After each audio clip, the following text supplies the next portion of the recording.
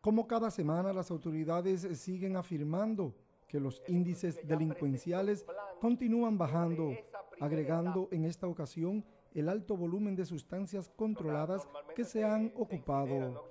Las ocupaciones desde el 2020 para acá de lo que ha sido de sustancias ilícitas ya suman más de 23 millones de gramos.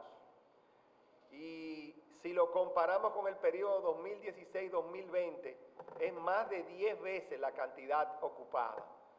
En torno a la música en alto volumen que sigue provocando violencia en muchos barrios, el director policial tímidamente dijo que estarían reactivando esos operativos. Para volver a relanzar la dirección o el departamento de antirruido. Se está trabajando en eso. La reunión de este lunes estuvo encabezada por la pues vicepresidenta de la República, Raquel Peña, quien llegó a la sede policial sobre las 10 de la mañana, marchándose tres horas después. Para Telenoticias, Guillermo García.